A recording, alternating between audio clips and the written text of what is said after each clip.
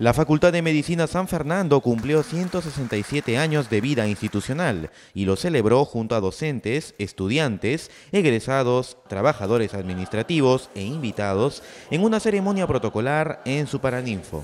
En primera instancia se proyectó un video institucional que expuso historia, importancia y legado de esta emblemática facultad. Posterior a ello, llegaron los saludos institucionales de distintas universidades nacionales e internacionales, así como de asociaciones ligadas a las ciencias de la salud. A continuación, llegaron las palabras de Jorge Castro, representante de los estudiantes sanfernandinos, quien destacó la naturaleza de los profesionales egresados de esta casa de estudios. Ser de San Marcos, ser de San Fernando es un prestigio, es un honor. ¿Y qué nos diferencia de otras universidades? Porque nosotros estamos cerca de las personas.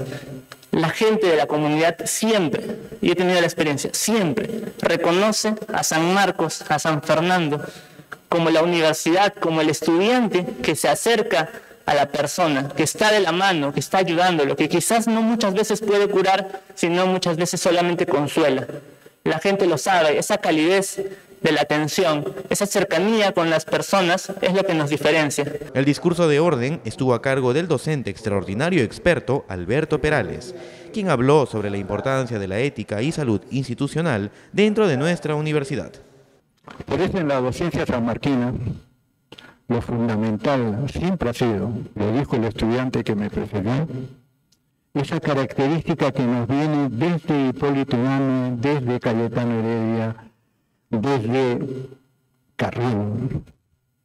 El gran espíritu de servicio que tienen los sanmarquinos, el gran sacrificio que hemos visto en los médicos durante la COVID-19, cuántos médicos, cuántas enfermeras, cuántos auxiliares y trabajadores han fallecido ayudando a otros peruanos. Esto es fundamental. Eso no lo podemos perder. Por eso, defender la cultura institucional es defender a San Marcos en la esencia de su calidad. Siguiendo con el programa en este día festivo para la comunidad sanfernandina, se brindó un reconocimiento a los estudiantes que alcanzaron el ranking más alto de cada una de las cinco escuelas profesionales que componen la Facultad de Medicina San Fernando, quienes resultaron ser todas damas.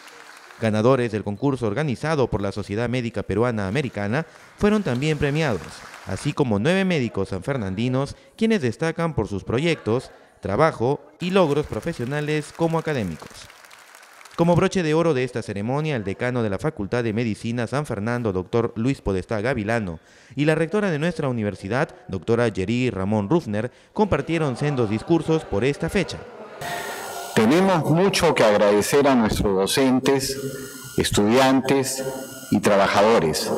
Son ellos quienes hacen que la Facultad de Medicina siga teniendo en sus aulas a los estudiantes universitarios más talentosos del país, independientemente de su condición socioeconómica, de su modo de pensar y credo religioso, a los mejores y más prestigiosos académicos del país y a trabajadores que con su profesionalismo, lealtad y compromiso contribuyen a que estos logros sean posibles. Es así que en este nuevo aniversario nos encontramos con ambientes nuevos y renovados, con un centro de simulación y aprendizaje que está a la altura de cualquier universidad del mundo, con una sala de evaluación de competencias única en nuestro país y con equipos de simulación modernos y algunos también únicos en Sudamérica. Con un centro, instituto de cirugía experimental renovado, con equipos que forman estudiantes de pregrado y a futuros especialistas y que es el ejemplo para muchas facultades y escuelas de medicina con ascensores en las escuelas de obstetricia y nutrición, en lo esperado por más de 13 años y que hoy es realidad y con ambientes que dan más confort a estudiantes, docentes y trabajadores, con un nuevo bioterio que cumple los estándares adecuados, con una sala por la senda de UNAME, con actas, libros y publicaciones de los docentes más distinguidos sanfernandinos, que nos hace sentir orgullosos, junto con el Museo de la Medicina y el Museo Antonio Raimondi. A lo largo de estos 167 años, se fueron formalizando y creando las otras carreras vinculadas a las ciencias de la salud.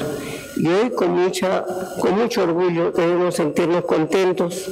San Fernando cuenta con obstetricia, enfermería, tecnología médica, nutrición. Y estas son parte de las cinco escuelas que tiene la facultad.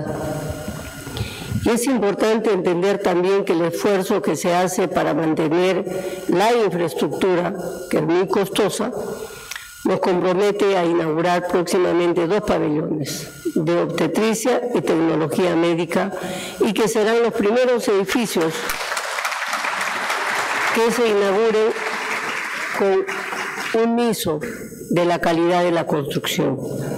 Y hoy día hablábamos con el señor decano que también una vez que se muden estas escuelas a, la ciudad universitaria, haremos un proyecto para construir un pabellón o dos pabellones que no sean de dos o tres pisos, sino de diez pisos, para modernizar la Facultad de San Fernando. Cabe destacar que la mesa de honor estuvo integrada además por los vicerrectores académicos de pregrado, Carlos Cabrera Carranza, y de investigación y posgrado, José Niño Montero, egresado de esta facultad, así como de la vicedecana académica de pregrado de la Facultad de Medicina, doctora Alicia Fernández Justi.